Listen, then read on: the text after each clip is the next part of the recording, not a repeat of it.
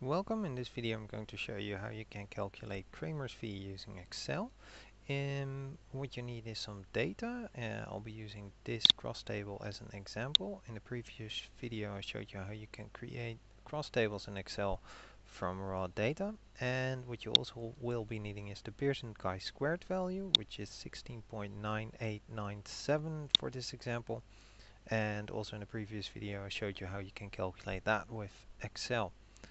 Now Cramer's V is uh, quite straightforward from that moment on. What we need is the number of rows, which in this case is simply 5, but I can actually use count also to simply count that and then say, oops, not do not add the total.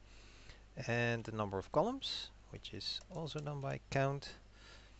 And we can select these two.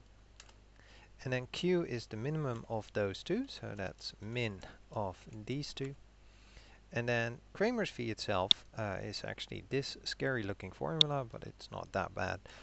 We take the square root out of the chi-square value, which was this one, divided by open parentheses, the total uh, number in the sample, multiplied by open another set of parentheses, this q minus 1, and then close all the parentheses, which is 3 in total, press enter and you should get Cramer's V in this case being 0.09 which is pretty low.